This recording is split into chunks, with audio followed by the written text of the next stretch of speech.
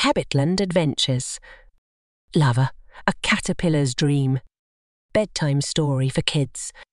By Bernard Kelvin Clive. In a colourful garden, there was a small caterpillar named Lava.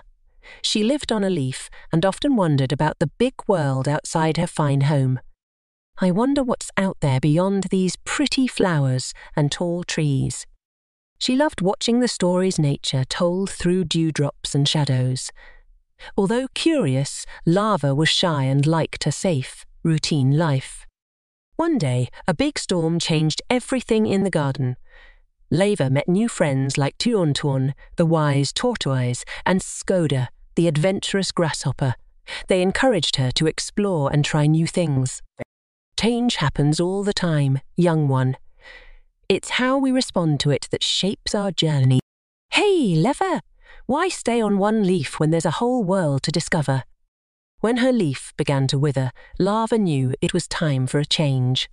She started to make a cocoon ready for her transformation. Inside the cocoon, Lava grew and changed. When she finally emerged, she wasn't just Lava the caterpillar. She was Lava the butterfly, ready to explore the sky. This new world is more beautiful than I ever thought. I'm Lava the butterfly, with wings to explore the endless sky. Lava's adventure inspired everyone in the garden.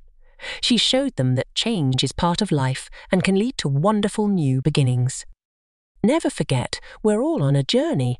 Take the time to enjoy your journey and trust in your transformation, because it will lead you to amazing places. The end.